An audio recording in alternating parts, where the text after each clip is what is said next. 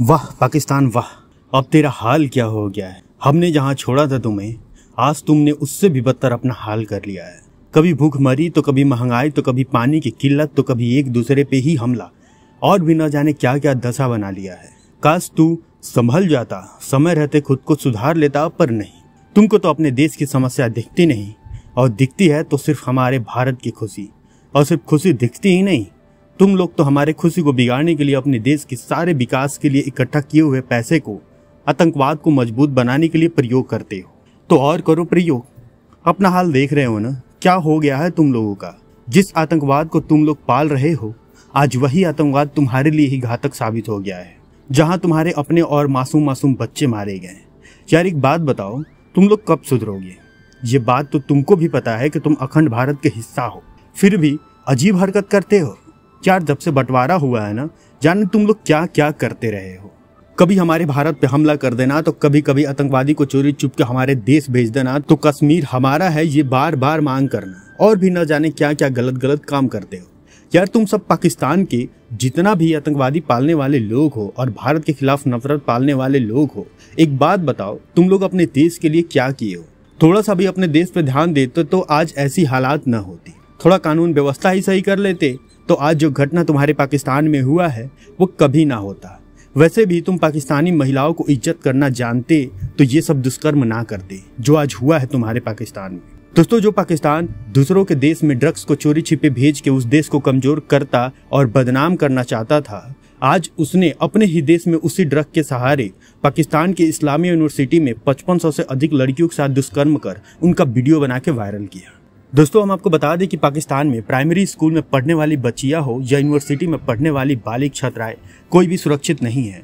दरअसल पाकिस्तान में अब तक का सबसे बड़ा सेक्स स्कैंडल सामने आया है, जिससे इस्लामाबाद से लेकर लाहौर और कराची तक बवाल मच गया। इसे दुनिया का भी सबसे बड़ा सेक्स स्कैंडल बताया जा रहा है।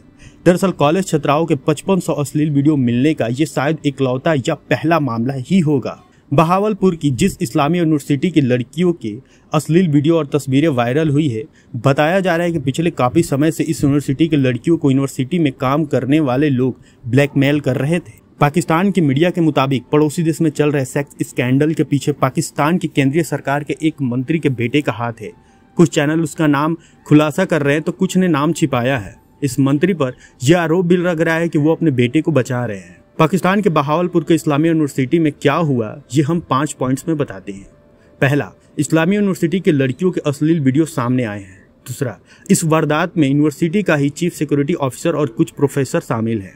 तीसरा, चीफ सिक्योरिटी ऑफिसर के मोबाइल से पचपन सौ अश्लील वीडियो और तस्वीरें मिली है। चौथा, अश्लील वीडियो और तस्वीर यूनिवर्सिटी की ही छात्राओं की है।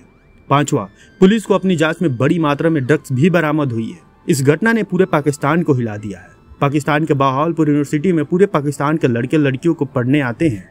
इस यूनिवर्सिटी में करीब पचास हज़ार छात्र छात्राएँ पढ़ते हैं। Higher education commission of Pakistan ने वर्ष 2019 में इस यूनिवर्सिटी को देश की तीसरी सबसे अच्छी यूनिवर्सिटी बताया था। अब आप खुद सोचिए कि इस यूनिवर्सिटी में छात्राओं के साथ क्या क्या हो रहा था। यही वजह है कि पाकिस्तान के इस सेक्स स्कैंडल कांड की दुनिया भर में चर्चा हो रही है।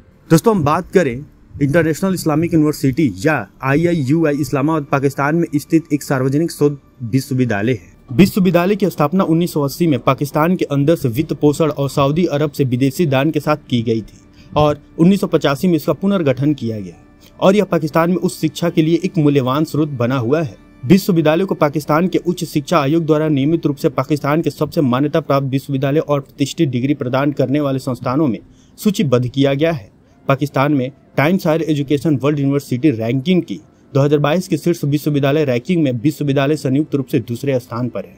यह पाकिस्तान के उच्च शिक्षा आयोग द्वारा सामान्य श्रेणी के लिए लगातार देश के सर्वश्रेष्ठ विश्वविद्यालय में शुमार किया जाता है। विश्वविद्यालय के दो परिसर हैं, पुराना परिसर, नया परिसर।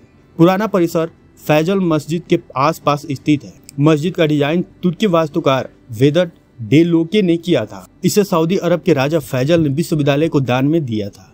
मस्जिद दुनिया की सबसे बड़ी मस्जिदों में से एक है और यह अपने प्रार्थना कक्ष, महिला गैलरी और प्रांगण में हज़ारों लोगों को समायोजित करने में सक्षम है। नया परिसर, इस्लामाबाद के सेक्टर एच टेन में है। नए परिसर के निर्माण का पहला चरण 2013 में पूरा हुआ तब से महिलाओं के लिए एक परिसर क्षेत्र स्थापित किया गया है। 2006 में सेंट्रल लाइब्रेरी और लिंगन कॉर्नर का निर्माण पूरा हुआ था। तो हमारे पाकिस्तान के प्रिय मदरसा को स्कूल और स्कूल को मदरसा बनाने वाले लोगों, कृपया कर पाकिस्तान को अच्छी शिक्षा देने का कष्ट करें। ना कि आतंकवाद फैलाने का काम करे।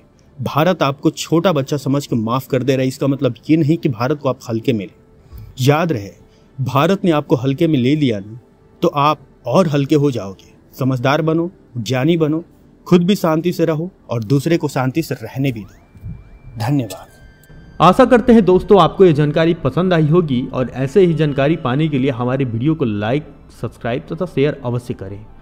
धन्यवाद।